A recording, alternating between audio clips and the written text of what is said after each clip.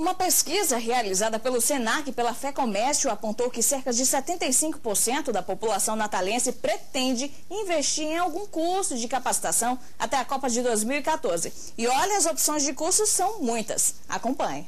Faltam menos de dois anos para a Copa do Mundo e alguns natalenses já começaram a intensificar a preparação para prestar bons serviços no evento. Nós fizemos uma, uma pesquisa onde nós procuramos entender qual era a expectativa do público do Rio Grande do Norte, no, de Natal mais especificamente, em relação à Copa do Mundo.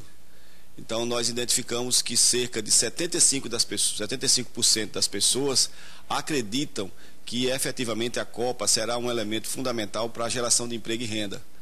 E desses 75, 88% dessas pessoas vão investir num curso de capacitação. E uma das melhores maneiras de conseguir essa qualificação para o mercado de trabalho que vai atuar na Copa de 2014 tem sido o aprendizado de línguas estrangeiras. Em Natal, o curso de inglês tem sido o foco da maioria dos estudantes. Jubian Siqueira, há 15 anos, trabalha na rede hoteleira e depois que começou a desenrolar o idioma, as coisas têm ficado mais fáceis no serviço. Quem não estiver falando uma outra língua em 2014, dificilmente vai estar dentro do mercado na área hoteleira. Então, necessariamente, você tem que ter conhecimento de um outro idioma. Este professor acredita que nos dias atuais ter um segundo idioma é indispensável não só para atuar no Mundial, como também para estar preparado para trabalhar no mercado competitivo. Torna-se necessário né, para a gente é poder estar atingindo as necessidades de mercado é, ter, e poder ter um, um, um competitivo aí na área. Né?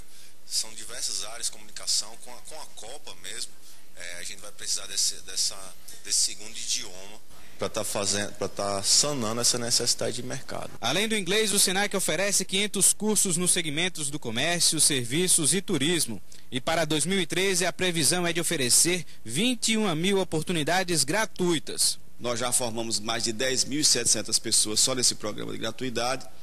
E para o ano vamos oferecer 7 mil vagas. Saímos de 4.800 para 7 mil vagas para efetivamente dar essa oportunidade às pessoas. Além disso, nós temos também o nosso programa Pronatec, que é um programa do governo federal que o SENAC operacionaliza e que tem uma perspectiva para o próximo ano de 14 mil.